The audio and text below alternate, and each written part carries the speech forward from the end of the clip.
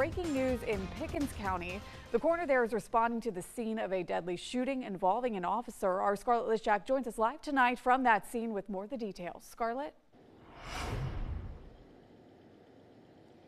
Kelsey, I'm outside of the Easley Estates mobile home park where officers say a domestic dispute ended in an officer-involved shooting. Easley police say around 1.30 this afternoon, officers were called to Scott Avenue regarding an argument between a man and a woman.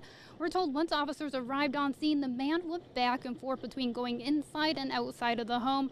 Officers escorted the woman and a child away from the scene. Officers say eventually the man came out of the home and pointed his weapon at officers. That's when at least one officer fired. And it sounded as if he was barricading himself inside the home. Uh, eventually, officers attempted to call him out. He did then come out the front door of the home, raised his shirt, uh, and he was presenting himself as armed.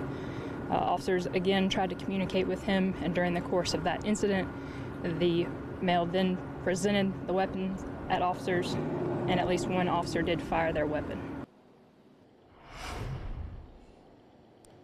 The Pickens County Coroner's Office did confirm that that male suspect did die on scene. Reporting live in Easley, Scarlett Lischak, 7 News.